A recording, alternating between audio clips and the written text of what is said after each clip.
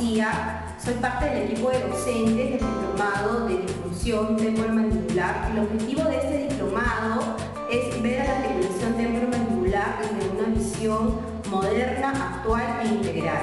Verlo a través de las diferentes especialidades como rehabilitación, ortodoncia y cirugía maxilofacial. Hay que tener en cuenta que en este momento la articulación temporomandibular es un pilar importante para el tratamiento integral de las diferentes especialidades odontológicas. El diplomado de diagnóstico y planificación de la disfunción temporomandibular empieza el 4 de diciembre. Los esperamos todos muy contentos de recibirlos y poder empezar con muchas fuerzas este segundo diplomado. Muchas gracias.